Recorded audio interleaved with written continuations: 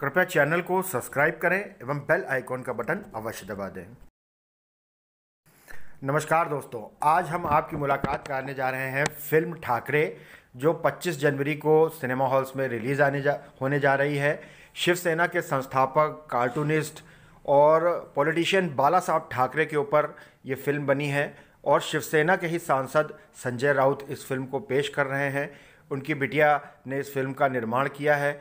नवाजुद्दीन सिद्दीकी इसमें बाला साहब ठाकरे की भूमिका में नज़र में आएँगे और उनके साथ साथ अमृता राव, फ़िल्म अभिनेत्री, वो बाला साहब की पत्नी मीना ताई ठाकरे के रोल में नज़र आएँगी। आज राजधानी के सिनोप्लेक्स में ये पूरी टीम यहाँ मेहमान थी और बहुत बेबाकी से बातचीत हुई। पत्रकारों ने खूब सवाल इनके ऊपर दागे, तीखी नोक झोंक हुई और संजय राउत और नवाजुद्दीन सिद्दीकी, अमृता राव ने बेबाकी से मीडिया के सवालों का जवाब भी दिया। देख रहे हैं उसके पीछे भी कोई राजनीति है सोच ज़रूर हो सकती एक विचार हो सकता है लेकिन राजनीति नहीं। अभी जहाँ ठाकरे है वहाँ संजय राउत रहेंगे और कहा रहेंगे? ये एक फ़िल्म है।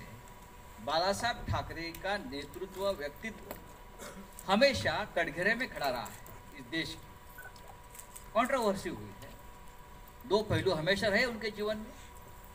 हमने कोशिश की है कि रियल बाला साहब ठाकरे जो लोगों को मालूम नहीं उनका जो एक संघर्ष रहा उनकी ज़िंदगी का एक बाल ठाकरे से लेकर बाला साहब ठाकरे तक मुझे लगता है बहुत कम लोगों को उस बारे में मालूम है बाल ठाकरे के बाला साहब ठाकरे और हिंदू हृदय सम्राट कैसे बने आपको शायद पता नहीं होगा आप ये फ़िल्म में देख सकते हैं।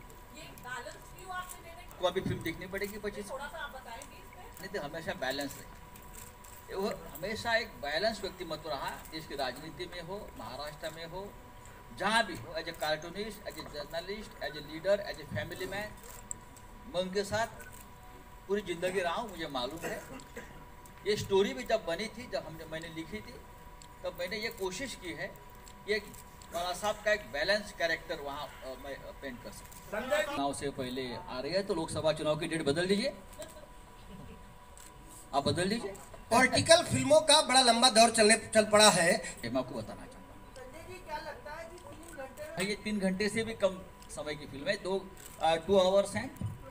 आ, दो घंटा बीस मिनट की फ़िल्म है और उनकी पूरी ज़िंदगी आपका सवाल बहुत अच्छा है। दो घंटे में हम नहीं करते पे लेकिन सिक्वल आ जाए।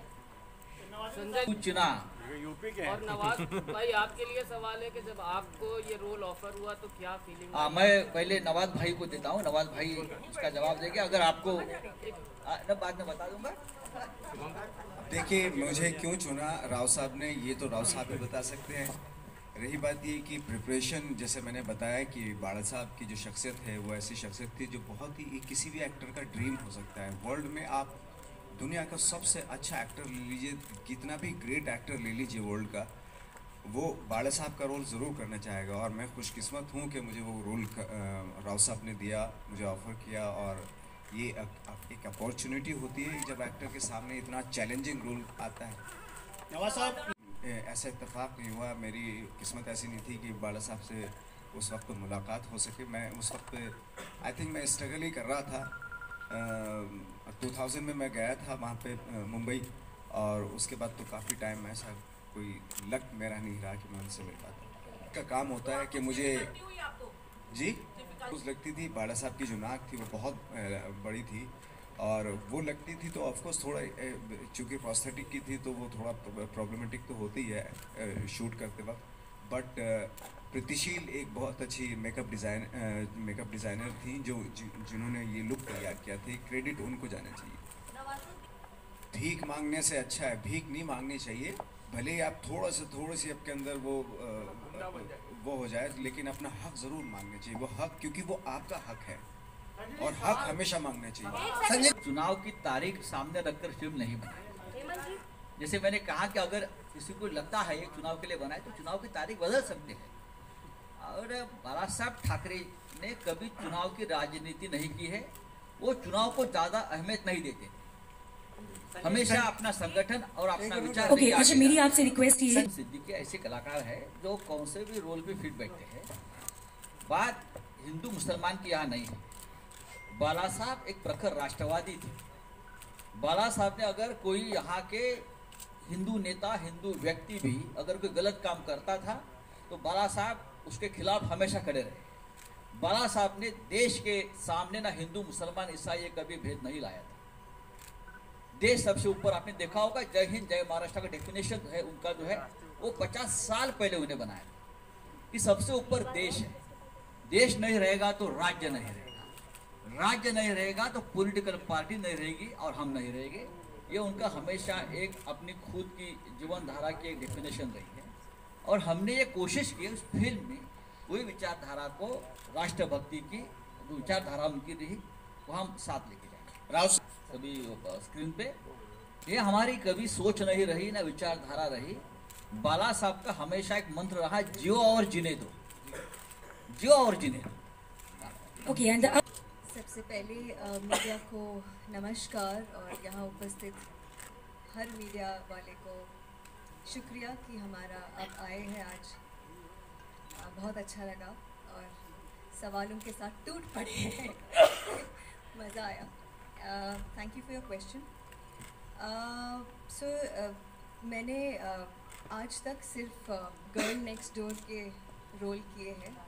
वेरी गर्ली गर्ली जोन पहली बार ऐसे हुआ है कि मुझे पता था कि ये रोल ऐसा है कि ये एक लड़की नहीं ये औरत है।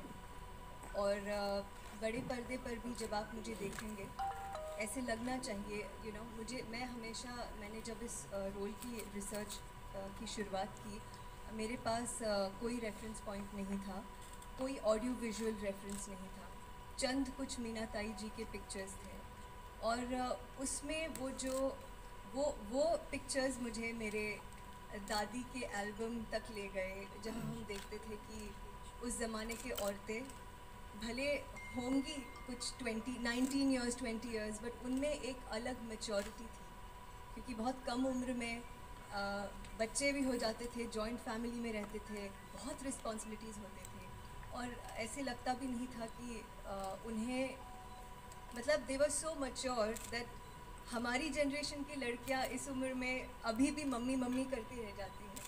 और अ, मेरा भी यही हाल है बट मुझे पता था कि ये एक बहुत मच्योर स्पेस है एंड मैंने उसको उस मच्योरिटी को पर्दे पर लाने की कोशिश की। Of course prosthetics also help a lot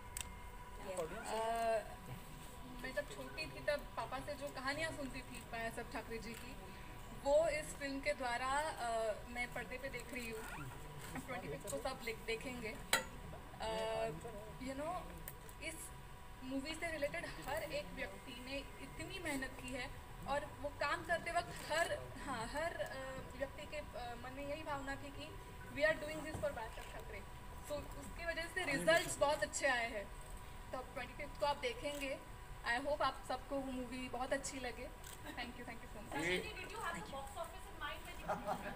ये कोई प्राइवेट शो के लिए नहीं बनाई है ना? हाँ?